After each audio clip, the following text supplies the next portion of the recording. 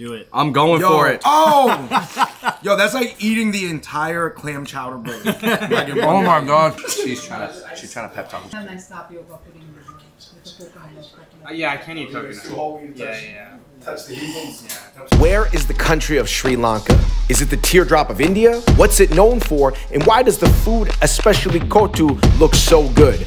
We took a trek out to the borough of Staten Island to one of the only Sri Lankan neighborhoods in America to find out. Welcome everybody to a special Sri Lankan episode of Fung Bros Food. We have ventured all the way out to Staten Island and we are nearby Little Sri Lanka, maybe the only Sri Lankan enclave on the entire East Coast. And of course, joining us today, we've got Sri Lankan comedian friend Shenuque. I'm Sri Lankan. I am Sinhalese. And of course, we got Mr. Never Eat Anything, Vivek with us. Let's go. Vivek is here to just be the Indian fact checker. Pretty much. Yeah, Okay, Pretty much. all right. Really excited to do this video because we're gonna be having authentic Sri Lankan food. We're gonna be going to some grocery stores. We're gonna be checking out the community and talking about how cool Sri Lanka is and how they're not Indians. Shenuque, what's something that we can learn in Sri Lanka to like kick this journey off? Mama Deng Badagini. Our first spot is Lakruwana. It is a Sri Lankan buffet. Let's go. Mama Deng Badagini, that means what? I'm hungry? I'm hungry. I'm hungry. I am hungry. Listen, it took like 90 minutes to get to Staten Island.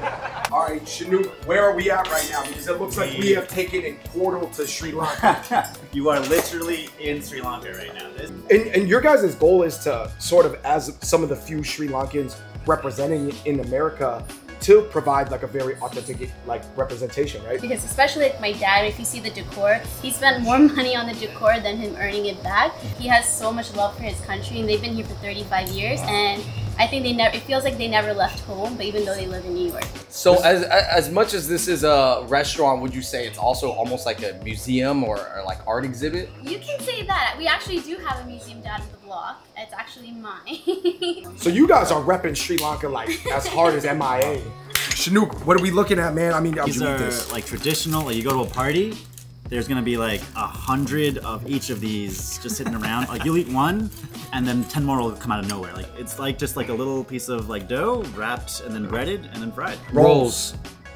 All All right. right, I'm, I'm, gonna, I'm gonna get the sauce. I like this little spoon here too. What's up with the uh, pull up in the tanka kala wele wanka with a bad bitch that came from Sri, Sri That's Lanka? the fucking best verse. I felt. You were like. I'm that I bad bitch from like, Sri Lanka. I love you. I- that is who I am. It's like curry. There's different types of things that you can see in there, almost like a less processed sausage. I'm gonna try the vegetable one.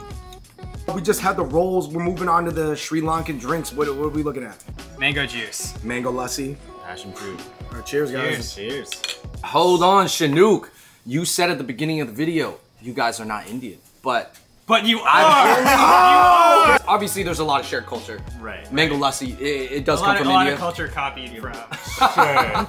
Shenuque, you got you got to describe the chip on the shoulder of Sri Lankans. Right, they're like, looking at you and they're expecting yeah, yeah. Bollywood dances, and you're like, dude, like, that's like 5,000 miles away. Word, word. And it's always like, oh, you're talking like, oh, what part of India is that from? It's Yeah, like, nah, nah, nah. It's its own country, actually. Well, hey, All you know what? Hopefully, after this video today, Let's do it. people might have a better idea. Right. I mean, If you were growing up in Sri Lanka Mm-hmm. consuming media, is most of the media gonna be Bollywood stuff Ooh. dubbed in like Sinhalese? like my parents watch Bollywood films undubbed. We just watch it straight in Hindi and like. But with like, subtitles, right? No, Like, not just, English subtitles? Just no other Oh. subtitles. But then, how do you guys even understand it. what's going Yeah. on? Dude, we were there for the music and the dancing, bro. Sure, That's it. That's fine.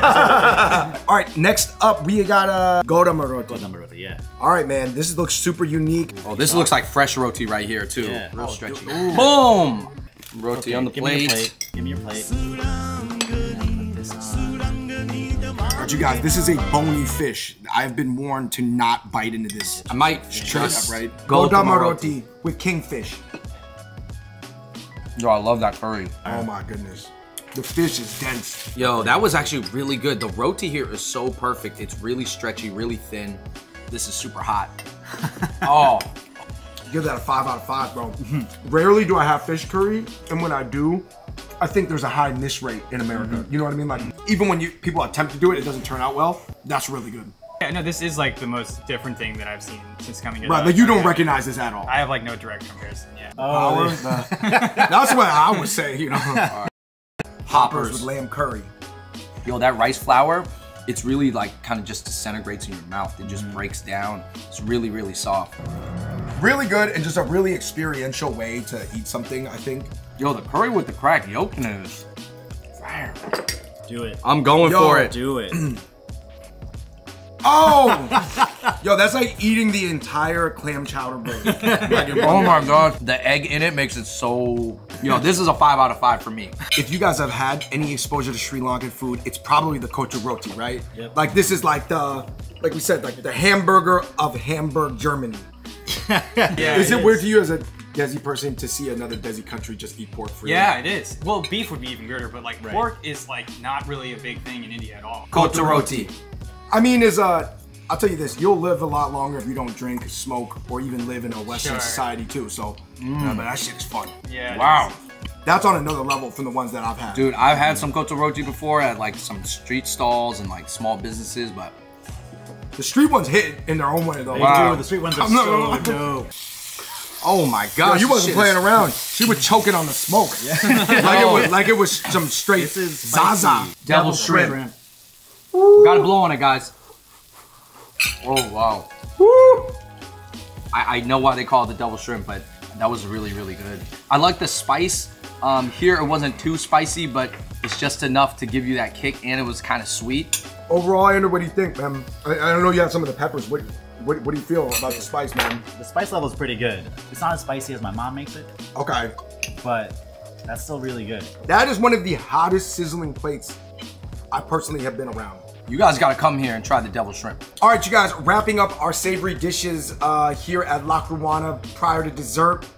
We got a lot of dishes, and some of these look really familiar. Yeah, man. I mean, this is lamprais. The banana leaf is like traditional Sri Lankan food. Basically, have a rice on the bottom of that with a curry, and then all this is just the seasoning on top, like that. That's really good. Wow. All right, honestly, is this better than the one your mom was making? All right. This one's fire. This is Yo, so this is really good. It's not that spicy of a dish now. In Sri Lanka, would this dish maybe be a little spicier? Oh, it'd be fire. in Okay. mouth. Five out of five here. Five out of five for the lamprais. You got the biryani, Okay. which is actually honestly Indian influence. Like it's very. Right. But it's got its own look to it. This is a string No, hopper Andrew, kotu. Andrew, that's the my fun kotu. yeah. That's that's what no, it looks like noodles. It looks like Yeah. noodles, but it's a string hopper kotu. This is the hatamalu. Uh, it's like a vegetarian curry with like dal and a bunch of like veggies in it. So you're eating this a lot nowadays. oh, big time. Whoa! Mm-hmm. Way more like pineapples and tropical. Sweet, yeah. This might be the original version of the Hong Kong cafe dish, the Singaporean style stir fried rice noodles. It's super spicy actually. It's really good. Of all the dishes we had, and we still got more to go, which one was your favorite? I feel like for you, you gotta say it was the lamprais. This is the lamprais, dude. You said it was better than your mom. This was. My, I'm sorry, mom. I apologize. I'm gonna go with the Godamba roti. For me, um, like a perfect breakfast, because it was actually like lighter than you would think. Yeah. I gotta go with the devil shrimp. That sizzling, hot, devilish plate that almost killed us. Vatalapan. This is the top one, huh? Yeah. This is the. This is the stuff. How many times you had this in your life? Thousands, maybe. Wow, I really taste those uh, the spices. Oh my gosh, look at this honey and yogurt.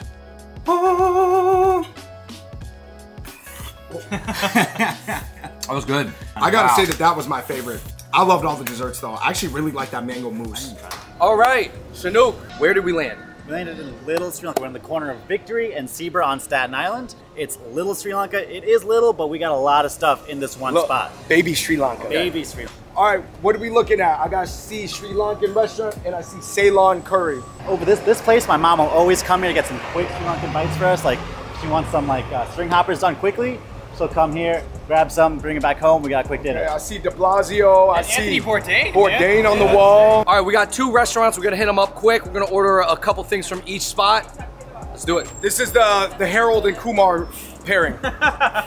Is this the best Sri Lankan food? So yes, I'm the best. I'm the one. So Okay. you had to tell me. Are you, are you very confident because Anthony Bourdain ate here? if it was good enough for Bourdain, it's good enough for us, all right? Vanakkam. This is Asha Restaurant. Please vango, saprungo. All right, so we have our Sri Lankan kind of lunch food. Yeah, it's got the roll with the egg in it. That's that's. So that's the real stuff. egg roll because there's an egg inside of a it. real egg roll. Lunch, just rice, some dal, some onion, sambo, What's that? chicken. This is coconut sambal. Oh! Wow, Yeah, yeah, I'm really excited. I had that at Dosa Man in Washington Square Yeah, Park. they- yeah, those were good. Wow, wow, it is. It's got a kick. It's a little spicier here. I feel like. I really like this mixed plate because it's actually not that heavy. It's not too creamy. Um, it's it is still pretty spicy, but it's actually pretty Yo, light. For me, I'm gonna go ahead and give this a five out of five. This was good. Hitting on a whole nother level. She's trying to she's trying to pep talk. A nice tapioca pudding with with the coconut milk. Uh, yeah, I can't eat coconut. always Yeah, yeah. touch the heels.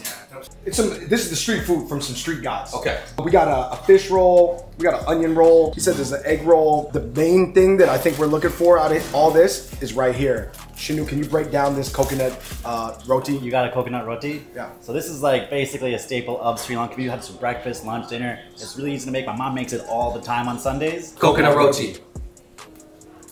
This is actually really soft and good. Like usually it's kind of like a bit harder. I like this one a lot. Like these are what my mom calls malupang, usually called fish buns. So one has fish, one has uh, spicy onions in it. Malupan. Wow, fish curry bun. I've never had one in my life. It's good. Guys, these two spots that we went to, Ceylon Curry and New Asha restaurant, guys, definitely check them out. If you ever come to Staten Island, Little Sri Lanka, flavors I've never had before. All right, you guys, we've arrived at the Sri Lankan grocery, and uh, one thing that I want to point out is how cool the Sinhalese language looks. Yeah, these are all like sounds, so it's all phonetic, right? So it's not like A, B, C. These are just like sounds of like words you would say. Let's head into the grocery. do it. All right. Hey, you know what I noticed? Uh, and I saw this in a video. Um, sometimes when Sri Lankan people they're saying yes, they actually say they go side to side Oh, first. yeah, yeah, yeah. So this it could be yes, but in the U.S. we might think it's no. Snack City.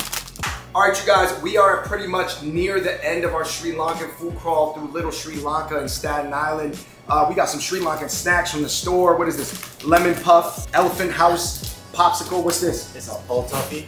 What do you think it is like about that makes Sri Lanka so interesting? You were talking about how the Portuguese, the Dutch, the British, um, there's some other ethnicities. There's some Chinese live in Sri Lanka. Yeah, I mean, like Sri Lanka has a lot of different cultures that like have influenced it. It is its own kind of like I think Sri Lanka really wants to be its own thing, like its own peoples, its own identities, uh, and like all that has come together to make a Sri Lankan diaspora. As we move into this time in America where everybody wants to be seen, everybody wants a representation, every type of uh, gender, ethnicity, community, identity, right? Like, are you with that, like, yo, I, I think we've got to be as nuanced as possible? Or is there some sense you're like, I, I just want to make it simple for people?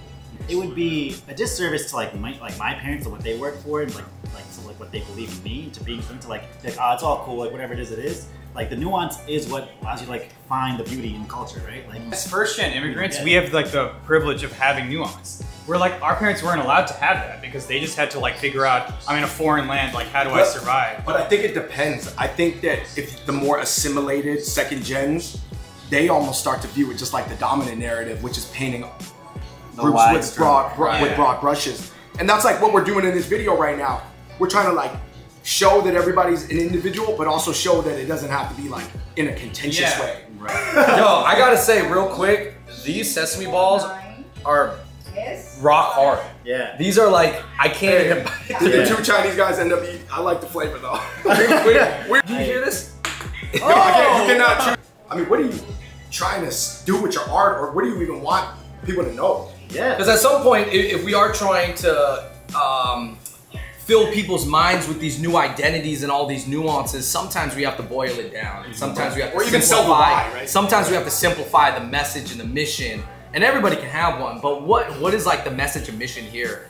As you would say, as a Sri Lankan American. Yeah, I mean, I think in my own art, I try my best to like be unapologetically like Lakruwana, like that setup, that style is what I want my art to be. It's also like the beauty of that culture, like what that culture is, like the love that I get from like my family, my friends, all the people that are in my life that are Sri Lankan. I think I want people know that Sri Lankans are like a warm, welcoming group of people. We like if you come into our house, we will take care of you. You're gonna eat well, you're gonna drink, you're gonna like you don't need anything when you come to our home.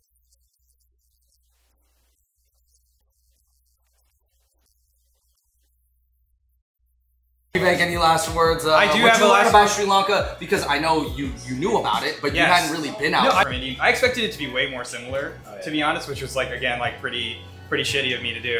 But like, uh, I think the biggest thing is also just learning like how like the the hospitality of it. I think is a lot was like super cool to see. Yeah, you can follow me at Indian Mazel on uh, Instagram or at Vinetrakanti at on TikTok. Hey, you can follow my work on at Shenuque, just my regular name, S H E N U Q E on Instagram, or check out my website, Yo, chinooktasera.com. Shenuque, what's your last name? Tessera. Uh, Tessera. Is that a, is that a, is that a foreign last name or is that It's a, a, it's a Portuguese last name. All right, everybody, thank you so much for watching that Sri Lankan episode in Staten Island. Yo, shout out to Shenuque, Vivek. You guys showed us around. We got to dive into the culture. In the comments down below, let me know one, what you guys know about Sri Lankan food or culture, and two, let us know another ethnic enclave around the New York, New Jersey-ish area that you guys would want us to check out because uh, taking these trips out, you know, it does take time, but it's usually worth it. All right, everybody, thanks for watching, and until next time, we out. Peace.